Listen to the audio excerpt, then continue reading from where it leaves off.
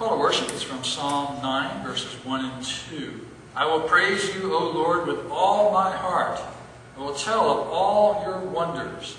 I will be glad and rejoice in you. I will sing praise to your name, O Most High. Our opening hymn is, will be introduced by Mr. Joseph White.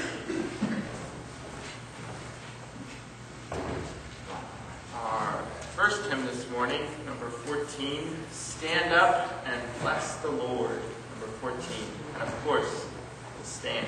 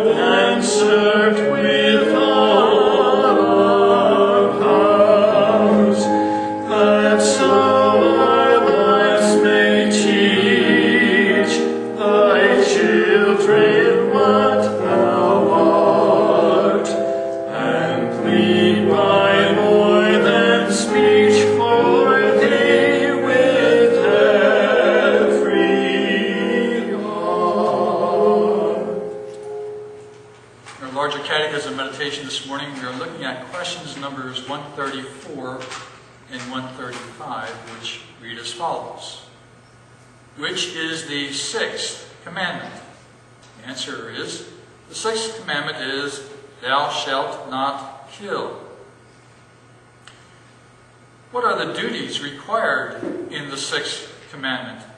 The answer, the duties required in the sixth commandment are all careful studies and lawful endeavors to preserve the life of ourselves and others by resisting all thoughts and purposes, subduing all passions, and avoiding all occasions, temptations, and practices which tend to the unjust taking away the life of many by just defense thereof against violence, patient bearing of the hand of God, quietness of mind, cheerfulness of spirit, a sober use of meat, drink, physic, sleep, labor, and recreations, by charitable thoughts, love, compassion, meekness, gentleness, kindness, peaceable, mild, and courteous speeches and behavior,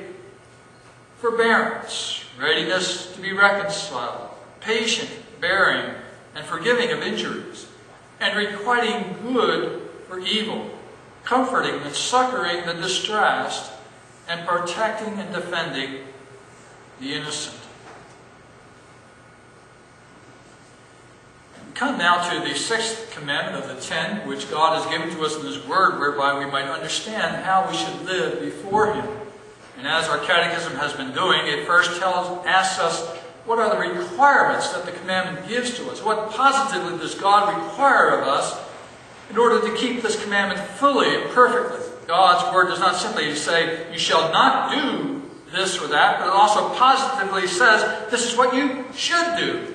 The implication is that positively we should not commit murder, but rather enhance life, produce life, do the kinds of things that develop human life and sustain it.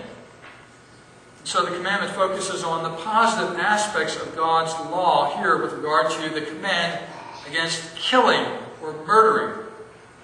Incidentally, the command well, in the King James Version is thou shalt not kill, uh, more recent versions have, have it in the form of thou shalt not commit murder. It's not wrong to kill necessarily. There are just occasions, as we will consider later on, when killing must take place. But here the command is against murdering, taking away innocent life. But more positively, the commandment is having to do with those careful studies, lawful endeavors to preserve the life of ourselves and others. It suggests to us that we should be active and engaged in trying to uh, bring God's world under control in such a way that we enhance life. So the pursuit of a variety of studies, whether it be in, in the field of medicine, producing uh, uh, drugs and medications that will help people relieve them of their ailments, whether it be in a variety of hospital settings with therapies that are provided for folks, or the kinds of things that go on in everyday life, building roads and, and providing safety requirements on uh, workplaces and on uh, communities and so forth.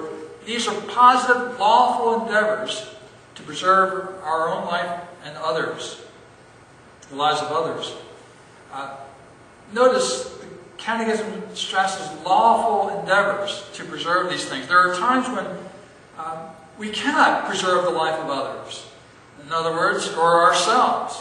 For example, if you are being uh, asked to deny your faith in Jesus Christ at the threat of death, do you then defend yourself by denying Christ? Well, certainly you should not. You must remain faithful and true to the Lord, even if that means that you will lose your life in confessing your faith in Christ.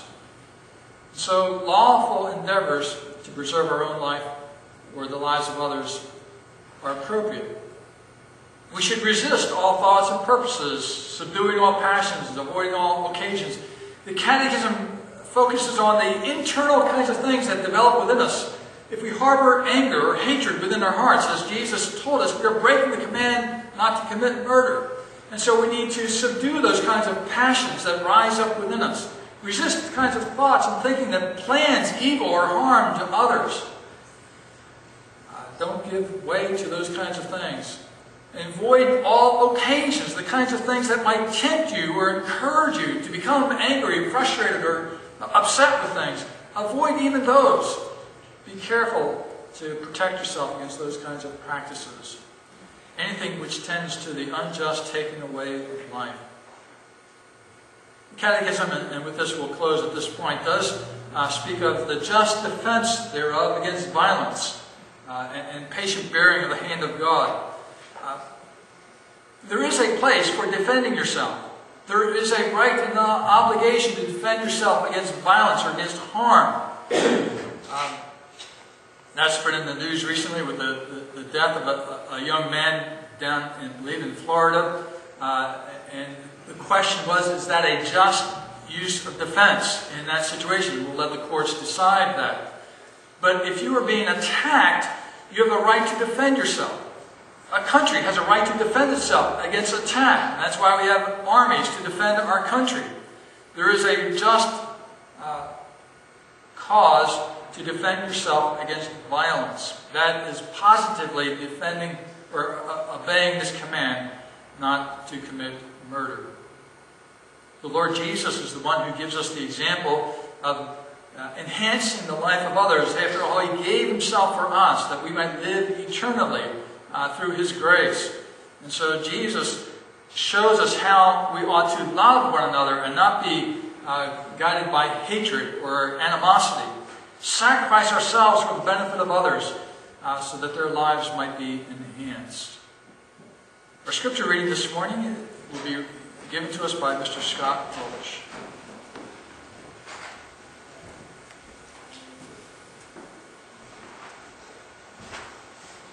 This morning's reading is found in the book of Micah, chapter 3, all of chapter 3, and it begins on page 920. Then I said, Listen, you leaders of Jacob, rulers of the house of Israel. Should you not know justice, you who hate good and love evil, who tear the skin from my people and the flesh from their bones, who eat my people's flesh, strip off their skin and break their bones in pieces, who chop them up like meat for the pan, like flesh for the pot? Then they will cry out to the Lord, but he will not answer them. At that time he will hide his face from them, because of the evil they have done. This is what the Lord says. As for the prophets who lead my people astray, if one feeds them, they proclaim peace. If he does not, they prepare to wage war against him. Therefore night will come over you without visions, and darkness without divination. The sun will set for the prophets, and the day will go dark for them. The seers will be ashamed, and the diviners disgraced. They will all cover their faces because there is no answer from God. But as for me, I am filled with power, with the Spirit of the Lord, and with justice and might, to declare to Jacob his transgression, to Israel his sins.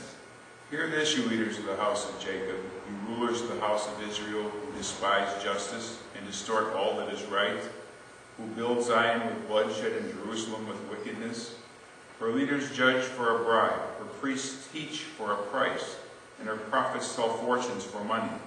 Yet they lean upon the Lord and say, Is not the Lord among us? No disaster will come upon us. Therefore, because of you, Zion will be plowed like a field.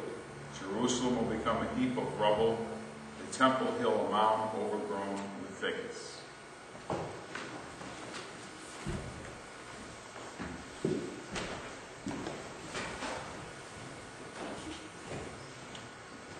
Next hymn, number 468, O God of Truth, whose living word holds with air and breath. Number 468, and we'll stand to sing.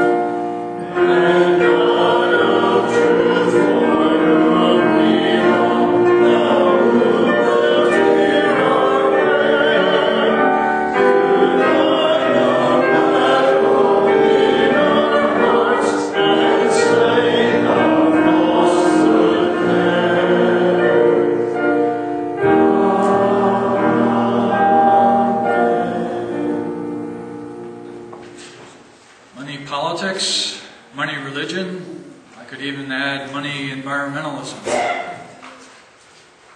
Some time ago I read a.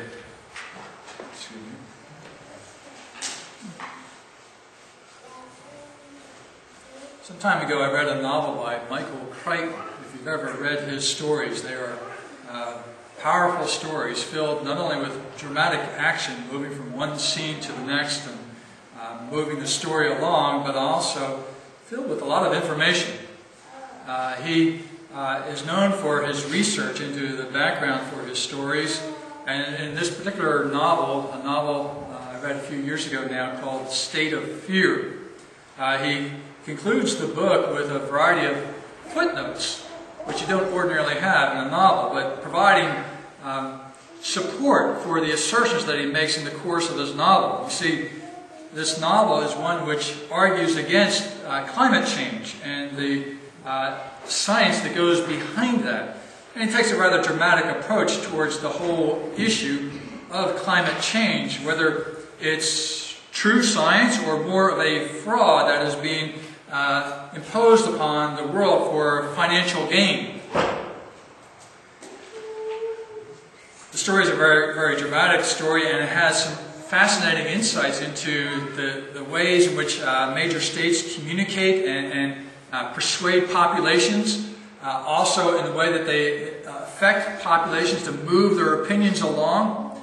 Um, it's a dramatic story.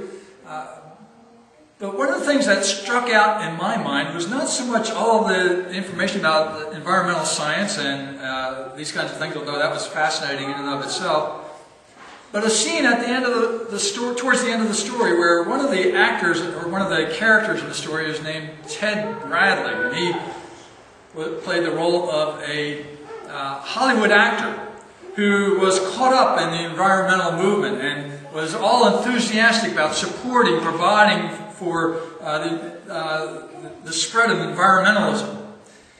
And Michael Crichton goes into the ideas or the concepts that lay behind this environmental movement, this uh, view of man and of nature. Is man and nature basically good, to be trusted and to be enjoyed, or is, is mankind evil? And is the world filled, uh, the, the environment filled with uh, the curse uh, that frustrates all that we do?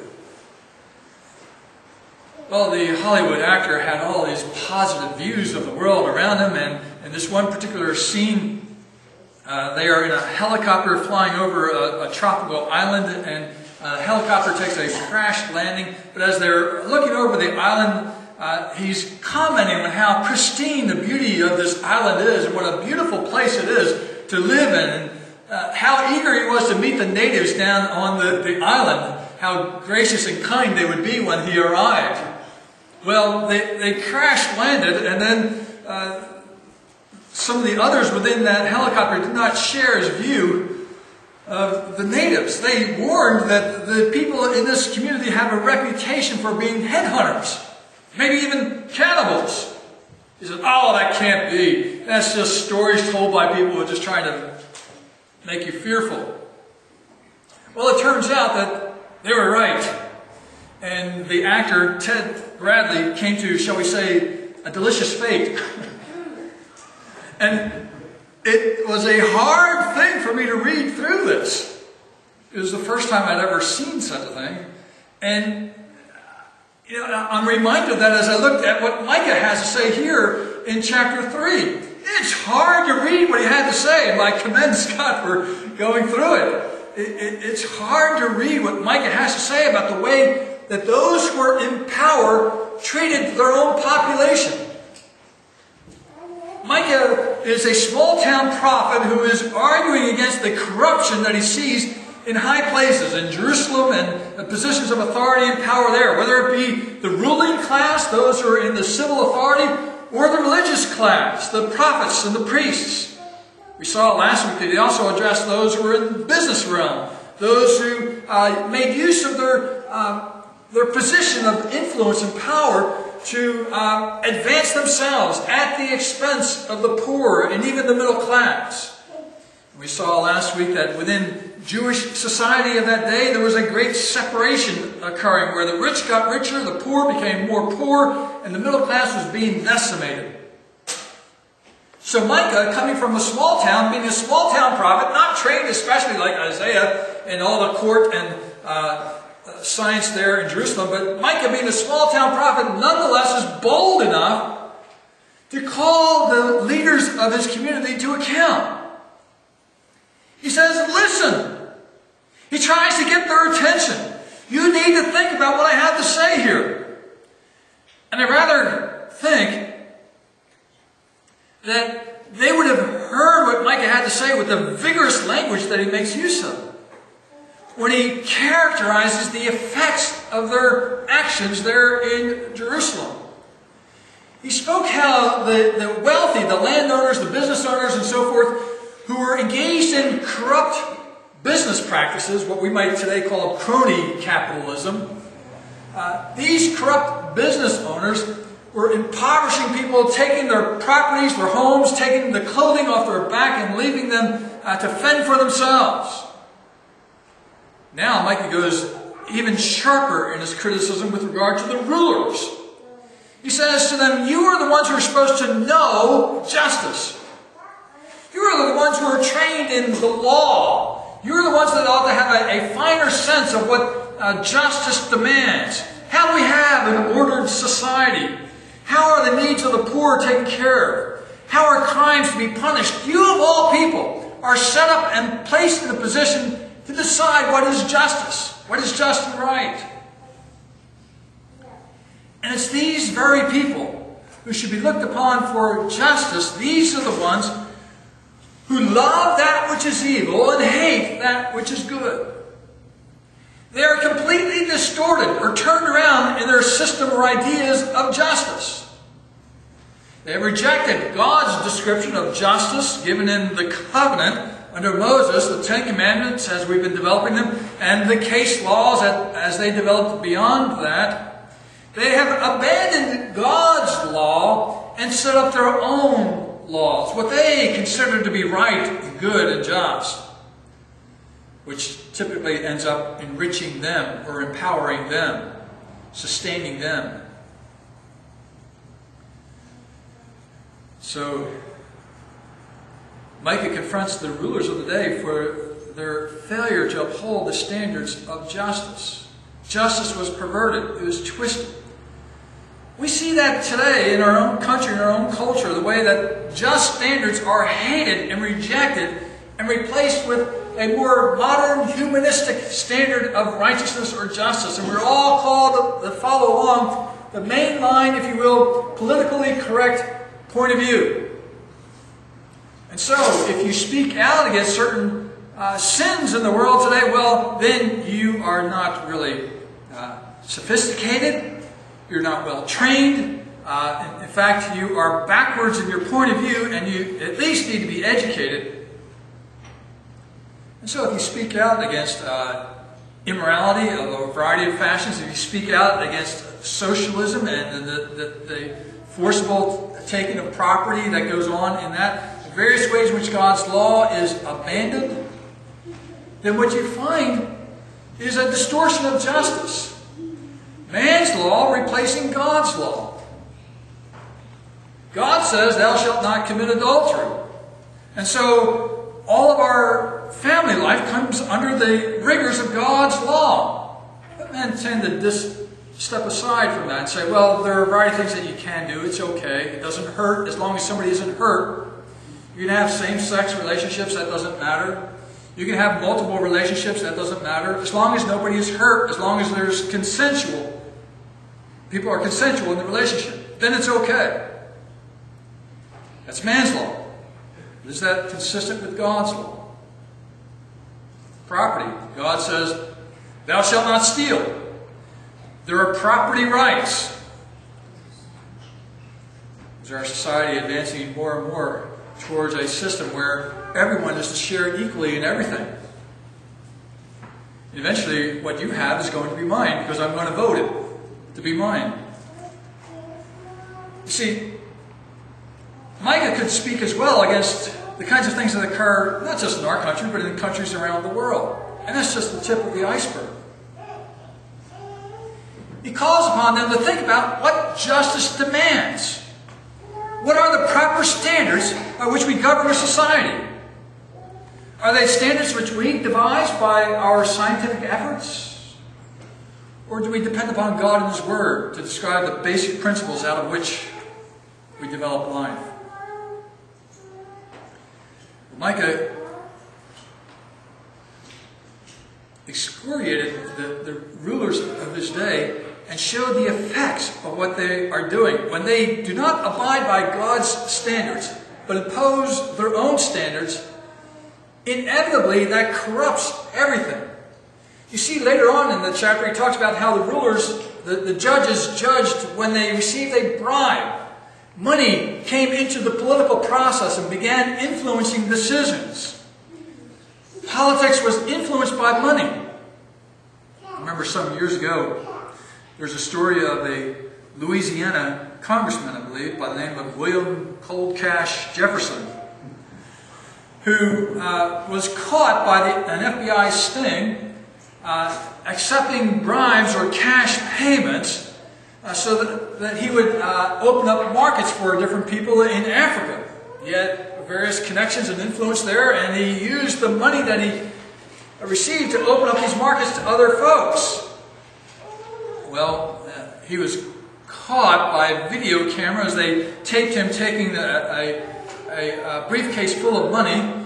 And when the FBI followed up and came to his office, they opened up a freezer in his office and found $90,000 uh, of cold cash in his freezer.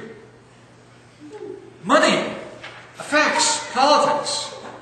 It affects the way people make decisions. And uh, Micah convicted the leaders of his day for the influence that money had on their decisions. It has a horrible effect on the people of God. He has this vision of, of these wealthy rulers taking their own people and really acting in a cannibalistic way towards their own people. Michael, Micah uses vigorous, offensive language to speak of the effects of these kinds of things, where the rulers are tearing the flesh and eating and putting things in a pot and stirring it up. It's horrible stuff. It's an image that's no doubt going to get your attention, but Micah has a point behind it. Your corrupt practices are doing great harm to the people of God. Bad decisions and, and places of power and authority wreak havoc upon people. And you need to be sensitive to that. Micah says that God himself is sensitive to these things. He's not a, a, a, an observer of the human situation, just simply sitting back and watching these things going on. Micah sees the Lord as one being offended and upset by what is occurring. And the Lord shows the, the rulers of his day what justice really is. This one for one correspondence. Remember in the law of Moses, an eye for an eye, a tooth for a tooth. This is the standard of justice. You take something from me, then you must restore it. And sometimes you have to pay a penalty for the act of taking that thing from me. There was a, a, a sense of justice in the old covenant law. And God does that with regard to these rulers. So, you have no compassion on the weak and the poor. You devour the property. You devour their lives. And you pay no attention to the cries and the screams for help or mercy. Well, I'm going to bring an army upon you. And they will devastate the city of Jerusalem. They will depopulate it. They will make it into a mound of rubble. And when you cry out to me, sorry, I can't hear you. What a horrible judgment God pronounces upon these rulers. That in the moment when they feel their need, and in their piety they cry out to God, not because they've repented of their sins, but because they need help. God says, I will not hear you. I won't hear you. There can be no fright, more frightening moment in an individual's life than to be given over by God to judgment. The writer to the Hebrews puts it again in very uh, powerful words when he says it is a terrifying thing to fall into the hands of the living God. There's no more frightening thing than to be given over finally to your sin. And that's why it is so important that we repent of sin now, here in this life, turning from it and seeking mercy from God now, while this is a day of salvation. But Micah does not only address the rulers of the day, those who are in positions of government authority, he also speaks of the, those who are in religious positions of authority. The prophets and priests. Uh, you might look today at pastors and teachers in the churches, theologians and so forth, other religious leaders, imams, uh, priests, and what have you. And here, Micah examines their conduct and shows how they too have fallen short. The priests uh, of the day, or the prophets of the day, prophesy only so long as they are being fed. You take care of them, then they're your best friend. They speak of God's peace on you. They explain away all of your uh, misfortunes and your sins. They say, God loves you. He will help you. He will bless you. He will prosper you. everything will go well for you. What? You stop putting something into the, into the tithes and the offerings, you don't contribute or support them, you don't help them out, then all of a sudden it's a war on you from the pulpit. Like the war on poverty, the war on women, all, that, all this kind of stuff. It's a war on those who don't feed the prophets. And Micah goes after these fellows for their wickedness. Their only concern is, again, to enrich themselves. And so if they go where the money's at, and they don't speak out against the injustice that's occurring in their community or their society, lest they offend those in power and those who are supporting them and flooding their uh, offering plates with cash. The prophets of the day should have been those who called upon the, the rulers to repent they should have corrected them. But they held back. They kept quiet. They didn't say anything because it might offend them. There's a great danger that money will corrupt not only those who are in politics, but also those who are in the pulpit. Those whose interest only is the kinds of support that they will have. And so you have pastors who go to churches without regard to the truths of God's Word, but simply because there's a good salary there. There's a comfortable living there. It's a beautiful church with wonderful stone architecture and so forth, and beautiful wood floors and stained glass windows. I would have loved to have been in a church like that. But sometimes you got to sacrifice the truth to get there. Not always. Some folks will not speak out against sin. They will not explain the sin of God's people from the pulpit. That's a real problem. Micah contrasts these false prophets whose only purpose is to enrich and feed themselves with himself.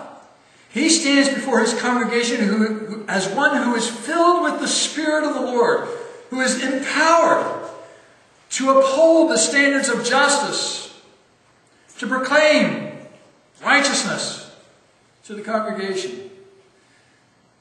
Micah stood opposed to the wickedness of his day, and he was willing to stand up and speak that which was right. Part of the ministry of the Spirit of God is to convict people of their sins. Like that novel by Michael Crichton and the debate that he had about whether human nature is basically good or evil? The answer of the Spirit in the Scriptures is plain. The nature of the human heart is basically evil, corrupt. It's hostile to God and His ways. It has a different standard of righteousness than what God provides for. It has a different goal in life, not pleasing God, but pleasing self or advancing one's self. The heart of man is basically corrupt and evil. And it's the work of the Spirit to show that, to expose human sin. Jesus speaks of the ministry of the Spirit in John's Gospel, the 16th chapter. He says that the Spirit is coming into the world to, to convict the world of sin, righteousness, and the judgment to come. That's the work of the Spirit. To show us our sins. To remind us that all of the kinds of things that we do that we don't are not too proud or happy about, those offenses are not just offenses against others that perhaps after a little while are forgotten. They are offenses against God Himself, who sees everything. There are offenses against others as well. And the Spirit takes these things and applies them to our hearts for a good purpose. That we would see the evil in our hearts and repent and cry out to God for mercy, for cleansing, for forgiveness. After all, here, Micah, as he very powerfully addresses the evil of his day and speaks against those who are corrupt in their practices, does so for good purposes. He speaks by the power of the Spirit of Christ. It's Christ Himself, the Lord, who is examining the culture of His day. Isaiah, the prophet who also spoke in Jerusalem of the day, said in the 61st, 61st chapter of his prophecy that the Spirit of the Lord is on me because he's uh, enabled me to proclaim the gospel, to proclaim release to the prisoner, and set free those who are, are held captive. This is a prophecy of the coming Christ. It is his work and his ministry to proclaim the gospel in the power of the Holy Spirit. And Jesus takes up that promise in Luke's gospel in the fourth chapter at the very start of his ministry, where he says, These things are fulfilled in me in this very day. He is the one on whom the Spirit rests, and he is the one who examines the human heart. He sees us fully and completely. And he speaks out, proclaiming life and salvation to those who repent, but the wrath of God to those who continue in their sins. Well, Micah proclaimed a word of justice to the people of his day. And the Christian ministry today must also take up the standards of God's righteousness and hold people accountable, not just simply those of us here within the congregation, but those out in the community at large. Those in positions of authority and power need to be confronted with the Word of God. What does God require of you as you serve as president, as judge, as congressman or senator? What does God require of you today? What are just standards? What does God require of you if you're a minister, an elder, a teacher in a church, a theologian at a seminary? How does God require you to proclaim righteousness and justice in the world today? Micah recognizes that the only way in which we can do these things is by the power of the Spirit of Christ dwelling upon us. It's by that renewing power that we are enabled to proclaim Christ. And So as you consider what Micah has to say, consider the world that we live in today and what God might say to different positions of those who are in authority, you need the help of the Spirit to do that. We need the power of the Spirit to convince, to convict, to lead to salvation and faith and life. Micah points us to Jesus Christ, who provides us with that Spirit. He is the one who, by his ascension into heaven, poured out the Spirit upon the church and empowers you today to be like Micah of old, proclaiming justice, both to those with whom you are acquainted, but also to those who are positions of authority and power. We all stand before God in His ways. And so seek the power of the Spirit. Be guided by His Word.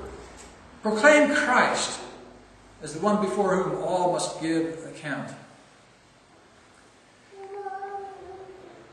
And glorify the Lord who brings us salvation through faith in Him. Let's pray.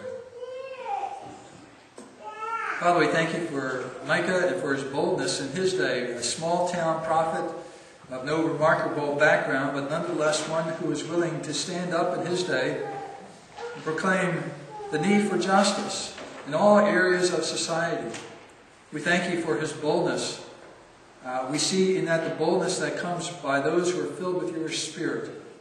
We pray that you would grant us that we too would be bold by your Spirit to proclaim justice, to proclaim righteousness, so that all may repent of sin and turn to Jesus Christ.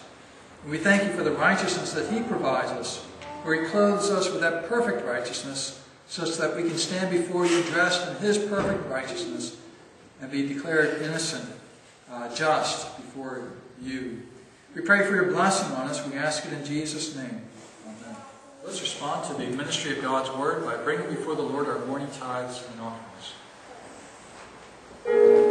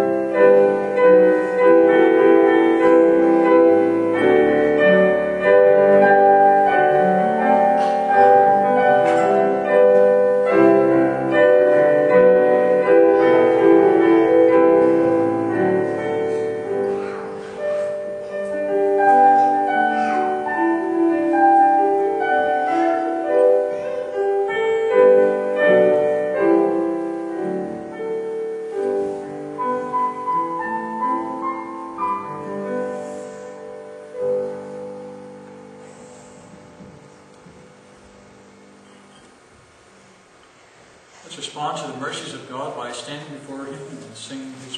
Stand and sing His praise.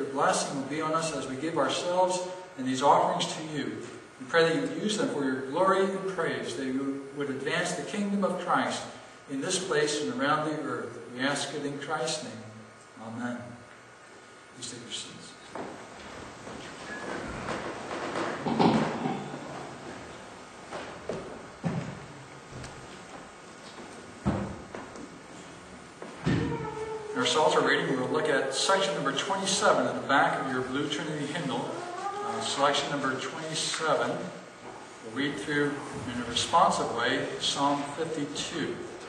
I'll have the words uh, up on the screen behind me, and if you would respond with the words that are in the bold print. Selection number 27. And we'll just read through Psalm 52. Why boastest thou thyself in mischief, O mighty man? The goodness of God endureth continually. The tongue of life is mischievous, like a sharp razor, working deceitfully. Thou lovest evil more than good, and lying rather than to speak righteousness.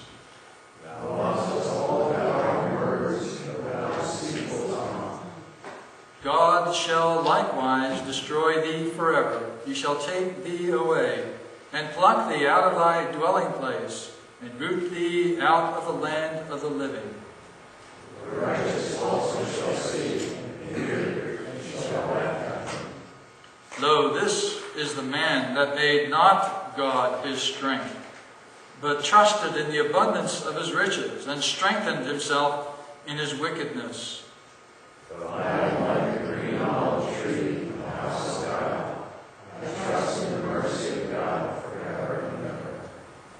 I will praise thee forever, because thou hast done it. And I will wait on thy name, for it is good before thy saints. Let's turn to the Lord and confess to him our sins and seek his word of forgiveness.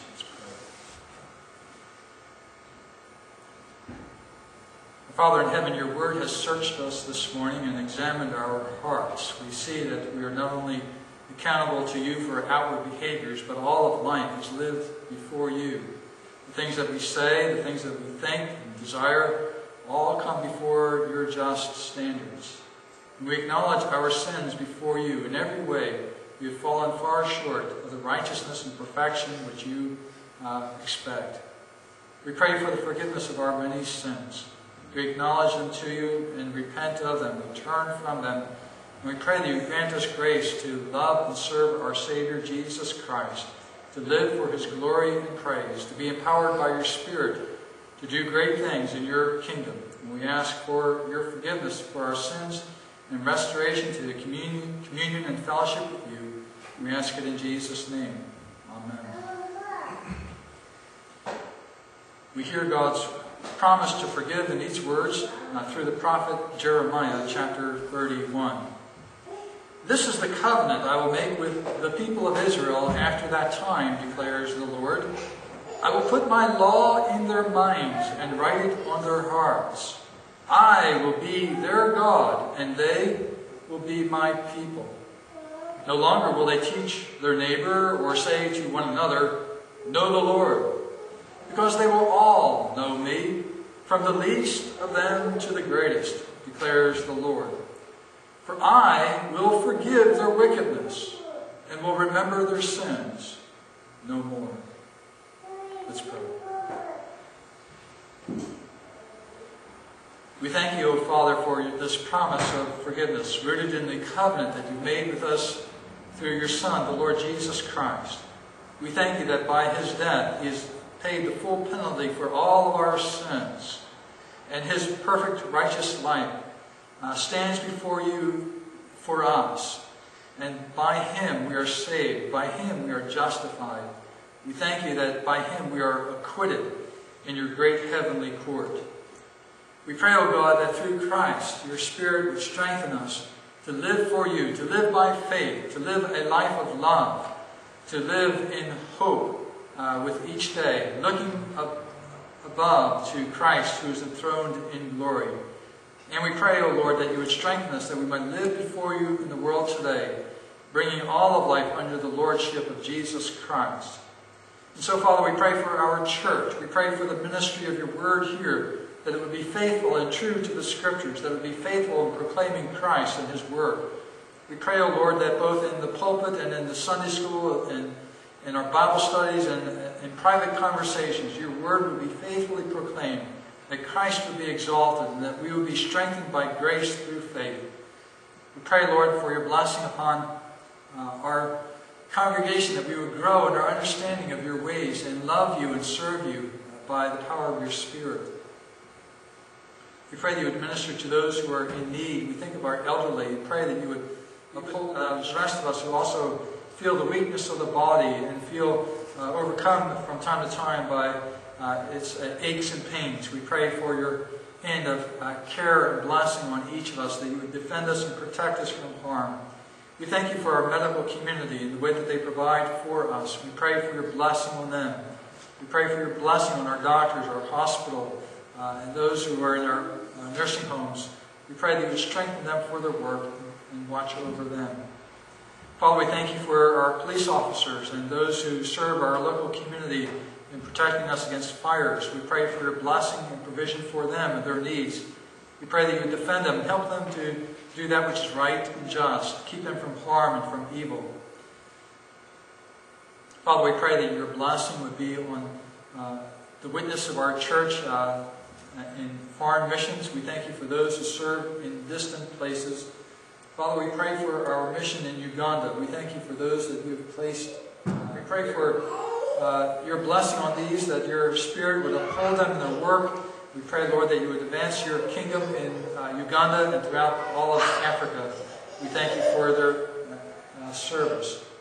Father, we thank you for our president, for his administration, for our Congress, for our Supreme Court, and for many decisions that they must make. We pray that you would guide them all in the paths of righteousness and justice. Deliver us from wickedness and evil, from corruption. Guard them from the evil influence of money. We pray, Lord, that you would help them to make just and good decisions that would promote the peace and prosperity of your people. We ask that you would defend us from our enemies, uh, protect those who serve in our military. We pray for your protection of them. We thank you for your mercies to us and would ask that you would teach us to pray, even as our Lord taught his disciples to pray, saying, Our Father, which art in heaven, hallowed be thy name. Thy kingdom come, thy will be done, on earth as it is in heaven. Give us this day our daily bread, and forgive us our debts, as we forgive our debtors. Lead us not into temptation, but deliver us from evil. For thine is the kingdom, and the power, and the glory forever. Amen.